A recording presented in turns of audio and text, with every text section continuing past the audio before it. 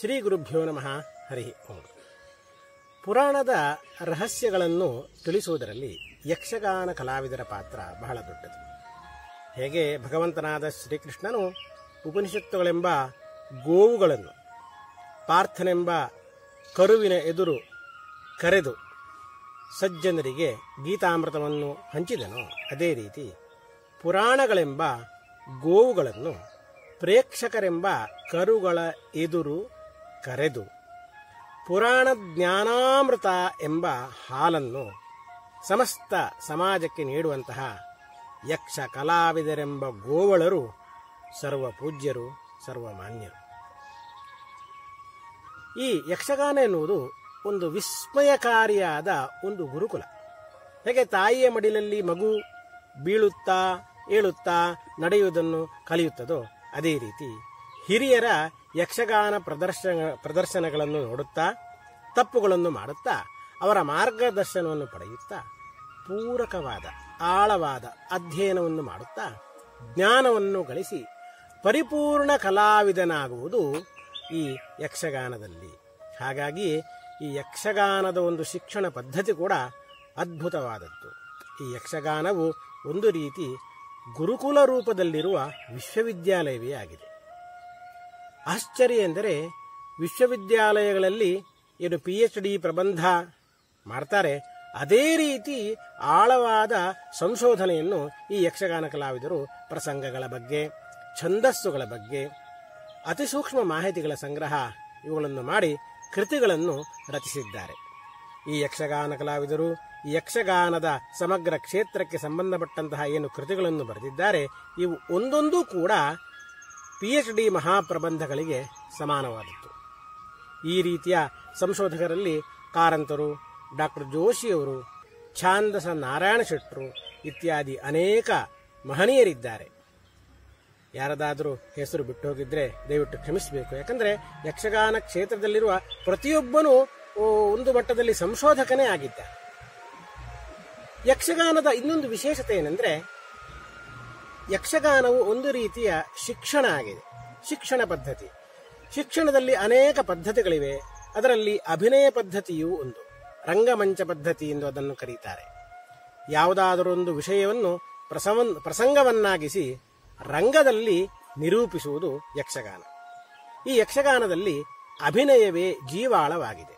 ಹಾಗಾಗಿ ಇಲ್ಲಿ ಏನು ವಿಷಯ ಪ್ರಸ್ತುತೀಕರಣ, ಇದು ಅತ್ಯಂತ ಪರಿಣಾಮಕಾರಿಯಾಗಿರುತ್ತದೆ ಈ ಅಭಿನಯ ಎಂಬ ಪದ್ಧತಿ ಮುಖಾಂತರ ಈ ವಿಷಯವನ್ನು ಪ್ರಸ್ತುತೀಕರಿಸುವುದರಿಂದ ಪ್ರಸ್ತುತಿ ಮಾಡುವಂತಹ ಏನು ಕಲಾವದ, ಕಲಾವಿದ ಇದ್ದಾನೆ, ಅವನ ಜ್ಞಾನದ ಮಟ್ಟವು ಆಸ್ವಾದಿಸುವ ಯಾವ ಪ್ರೇಕ್ಷಕ ಇದ್ದಾನೆ, ಅವನ ಜ್ಞಾನದ ಮಟ್ಟವು ಅತ್ಯು, ಅತ್ಯುತ್ಕೃಷ್ಟವಾಗಿದೆ. ಪುರಾಣದ ಯಾವುದೇ ಕಥೆಯಾಗಲಿ, ಪಾತ್ರವಾಗಲಿ, ಮಾಹಿತಿಯಾಗಲಿ, ಅದರ ಬಗ್ಗೆ ಕೂಡಲೇ ಯಕ್ಷಗಾನ ಕಲಾವಿದನಿಂದ, ಯಕ್ಷಗಾನ ಪ್ರೇಕ್ಷಕನಿಂದ ಸಿಗುತ್ತದೆ. ಇದೊಂದು ರೀತಿ ಗುರು ಶಿಷ್ಯ ಸಂಬಂಧ ಇದ್ದ ಹಾಗೆ. ಯಕ್ಷಗಾನದಲ್ಲಿ ಆಂಗಿಕ, ವಾಚಿಕ, ಆಹಾರ್ಯಗಳೆಂಬ ಅಂಗಗಳು ಬೇರೆ ಉಳಿದ ರಂಗಭೂಮಿಯಲ್ಲಿದ್ದಂತೆ ಇವೆ. ಆದರೆ ಇಲ್ಲಿರುವ ವಾಚಿಕ ಅಂಗ ಎಂದರೆ ಸಮಸ್ತ ಪುರಾಣ ವಾಂಗ್ಮಯ. ಹಾಗಾಗಿ ಯಕ್ಷಗಾನದಿಂದ ಪುರಾಣ ಜ್ಞಾನವು ಪ್ರೇಕ್ಷಕರಿಗೆ ಮತ್ತು ಸಮಾಜಕ್ಕೆ ಪರಿಪೂರ್ಣವಾಗಿ ಸಿಗುತ್ತದೆ. ಇದರಿಂದ ಧರ್ಮ ಶ್ರದ್ಧೆ ಉಂಟಾಗಿ ಲೋಕ ಕಲ್ಯಾಣವಾಗ್ತದೆ. ಆದ್ದರಿಂದ ಯಕ್ಷಗಾನ ಕಲೆಯು ಎಲ್ಲರಿಂದಲೂ ಆದ, ಆರಾಧಿಸಲ್ಪಟ್ಟಿದೆ. ನಾವು ಇಲ್ಲಿ ಯಾವುದಾದರೂ ಪುರಾಣದ ಬಗ್ಗೆ ಸಂಶಯ ಬಂದಾಗ ಯಕ್ಷಗಾನ ಕಲಾವಿದರನ್ನೇ ಕೇಳುವುದು. ಉದಾಹರಣೆಗೆ ಯಾವ ಪೌರಾಣಿಕ ಪಾತ್ರದ ಹೆಂಡತಿ ಕರ್ಮಬಂಧದಂತಹ ಗಹನವಾದ ವಿಚಾರಗಳು ಇವುಗಳೆಲ್ಲ ಅತಿ ಸಾಮಾನ್ಯರಿಗೂ ಅರ್ಥವಾಗುವಂತಹ ರೀತಿಯಲ್ಲಿ ತಿಳಿ ಹೇಳುವುದು ಯಕ್ಷಗಾನಕ್ಕೆ ಮಾತ್ರ ಸಾಧ್ಯ. ಜ್ಞಾನದ, ಬಳಗದ ಸ್ನೇಹಿತರು, ಮೊನ್ನೆ ಜಗದ್ಗುರು ಚಂದ್ರಶೇಖರ ಭಾರತಿ ಸ್ವಾಮಿಗಳು ರಚಿಸಿದಂತಹ ಒಂದು ಚಾಟು ಶ್ಲೋಕದ ವ್ಯಾಖ್ಯಾನವನ್ನು ಮಾಡಲು ಹೇಳಿದರು. ಈ ಚಾಟು ಶ್ಲೋಕದಲ್ಲಿ ಶಿವ ಪಾರ್ವತಿಯರ ಸರಸಲೀಲಾ ವಿನೋದ ಇದೆ. ಲೋಕ ಸಂಚಾರ ಮಾಡ್ತಾ ಈಶ್ವರನು ಹೊರಗಡೆ ಸುತ್ತಾಡ್ತಾ ಇರ್ತಾನೆ. ಅವನು ಒಂದು ದಿವಸ ರಾತ್ರಿ ಮನೆಗೆ ಹಿಂದಿರುಗಿ ಬಾಗಿಲನ್ನು ಬಡಿತಾನೆ ಬಾಗಿಲು ಬಡಿದಾಗ ಪಾರ್ವತಿ ಕೇಳ್ತಾಳೆ, ನೀನು ಯಾರು ಎಂಬುದಾಗಿ? ಆಗ ಈಶ್ವರ ಹೇಳ್ತಾನೆ, ನಾನು ಭೂತೇಶ್ವರ. ಅಂದರೆ ಈಶ್ವರನ ಪರ್ಯಾಯ ಪದ ಗೊತ್ತಿರಬಹುದು ಭೂತೇಶ ಖಂಡ ಪರಶುಹು ಎಂಬಂತೆ ಭೂತೇಶ್ವರ ಎಂದು ಈಶ್ವರನ ಹೆಸರಿದೆ. ತನ್ನ ಹೆಸರು ಭೂತೇಶ್ವರ ಎಂದಾಗ ಪಾರ್ವತಿಯು ಅವನನ್ನು ಛೇಡಿಸಲಿಕ್ಕೋಸ್ಕರ ಭೂತೇಶ್ವರ ಎಂಬ ಪದಕ್ಕೆ ಬೇತಾಳ ಎಂಬ ಅರ್ಥವಿರುವುದರಿಂದ, ಓ, ನೀನು ಬೇತಾಳನೇ, ಹಾಗಾದರೆ ಸ್ಮಶಾನಕ್ಕೆ ತೆರಳು ಎಂದು ಛೇಡಿಸುತ್ತಾಳೆ. ಇದೇ ರೀತಿ ಈಶ್ವರನು ತನ್ನ ಅನೇಕ ಹೆಸರುಗಳನ್ನು ಹೇಳಿದಾಗ ಅದಕ್ಕೆ ಬೇರೆ ರೀತಿಯ ವ್ಯಾಖ್ಯಾನ ಮಾಡಿ ಪಾರ್ವತಿಯು ಅವನನ್ನು ಮಾತಿನಲ್ಲಿ ಸೋಲಿಸುತ್ತಾಳೆ. ಈ ಸಂದರ್ಭದಲ್ಲಿ ಜಗದ್ಗುರು ಚಂದ್ರಶೇಖರ ಭಾರತಿ ಮಹಾಸ್ವಾಮಿಗಳು ಈಶ್ವರನು ಪ್ರದ್ಯುಮ್ನ ಜೇತ ಎಂದು ತನ್ನ ಹೆಸರನ್ನು ಹೇಳಿಕೊಂಡಾಗ ಪಾರ್ವತಿಯು, ಓ, ನೀನು ಸಾಲ್ವನೋ? ಇದು ನಿನ್ನ ಮನೆಯಲ್ಲ ಎಂದು ಛೇಡಿಸುತ್ತಾಳೆ.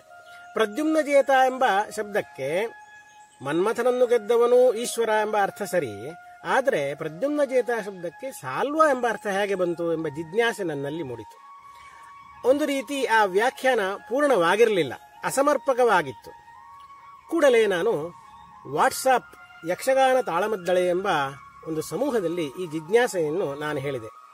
ಕೂಡಲೇ ಮಹನೀಯರಾದ ಶ್ರೀಯುತ ಶ್ರೀಧರ ಡಿ ಎಸ್ ಅಂಡಾಲ ದೇವಿಪ್ರಸಾದ ಶೆಟ್ರು, ಕೃಷ್ಣಮೂರ್ತಿ ತುಂಗರು, ಅನಂತ ಕಾಮತ್ ಇವರೆಲ್ಲ ನಿಷ್ಕೃಷ್ಟವಾದ ಒಂದು ಪರಿಪೂರ್ಣವಾದ ಮಾಹಿತಿಯನ್ನು ಕೊಟ್ಟರು. ಪ್ರದ್ಯುಮ್ನ ಅಂದರೆ ಕೃಷ್ಣನ ಮಗ. ಅವನನ್ನು ಸಾಲ್ವ ಯುದ್ಧದಲ್ಲಿ ಸೋಲಿಸಿದ್ದು ಈ ವಿಷಯ ಸರಿ ಈ ಪುರಾಣದಲ್ಲಿರುವ ಅತಿ ಸಣ್ಣ ವಿಷಯಗಳು ನಮಗೆ ತಿಳಿಬೇಕಾದರೆ ಮಹಾಭಾರತ ಮಹಾ ಭಾಗವತ ಮುಂತಾದ ಗ್ರಂಥಗಳನ್ನು ಓದಬೇಕು. ಇಂದಿನ ಈ ಧಾವಂತದ ಯುಗದಲ್ಲಿ ಎಲ್ಲ ರೀತಿಯ ಸಮಯವನ್ನು ಹೊಂದಿಸಿಕೊಳ್ಳುವುದು ಕಷ್ಟ. ಹಾಗಾಗಿ ಇಂಟರ್ನೆಟ್ನಲ್ಲೂ ಕೂಡ ಕೆಲವು ವಿಷಯಗಳು ಸಿಗೋದಿಲ್ಲ. ಇಂತಹ ಸಂದರ್ಭದಲ್ಲಿ ನಮಗೆ ಸಿದ್ಧ ಉತ್ತರ ಸಿಗುವುದು ಯಕ್ಷಗಾನ ಕಲಾವಿದರಲ್ಲಿಯೇ. ಹಾಗಾಗಿ ಪುರಾಣಗಳ ವಿಷಯದಲ್ಲಿ ನಡೆದಾಡುವ ವಿಶ್ವಕೋಶದಂತೆ ಈ ಯಕ್ಷಗಾನ ಕಲಾವಿದರಿರುತ್ತಾರೆ ಈ ರೀತಿ ಪೂರಕ ಮಾಹಿತಿಯನ್ನು ಕೊಟ್ಟು ನನ್ನ ವ್ಯಾಖ್ಯಾನವನ್ನು ಪರಿಪೂರ್ಣಗೊಳಿಸಿದಂತಹ ಈ ಎಲ್ಲ ಯಕ್ಷಗಾನ ಕಲಾವಿದರಿಗೆ ನಾನು ಧನ್ಯವಾದಗಳನ್ನು ಅರ್ಪಿಸ್ತೇನೆ. ಆ ಚಂದ್ರಶೇಖರ ಭಾರತಿ ಮಹಾಸ್ವಾಮಿಗಳು ರಚಿಸಿದ ಏನು, ಆ, ಚಾಟು ಶ್ಲೋಕದ ವಿವರಣೆ ಇದೆ. ಅದಕ್ಕೆ ಸಂಬಂಧಪಟ್ಟ ಒಂದು ವಿಡಿಯೋ ಲಿಂಕನ್ನು ಕೂಡ ನಾವಿಲ್ಲಿ ಲಗತ್ತಿಸಿದ್ದೇವೆ. ಪುರಾಣಗಳೆಂದರೆ ಮಿತ್ರ ಸಂಹಿತೆ. ಈ ಮಿತ್ರ ಸಂಹಿತೆಯಾದ ಪುರಾಣಗಳ ಆಧಾರದಲ್ಲಿರುವ ಕಾಂತಾ ಸಂಹಿತೆಯಾದ ಈ ಯಕ್ಷ ಕಾವ್ಯವು ಜ್ಞಾನ ವಿತರಣೆಯ ಶ್ರೇಷ್ಠ ಮಾಧ್ಯಮವಾಗಿದೆ.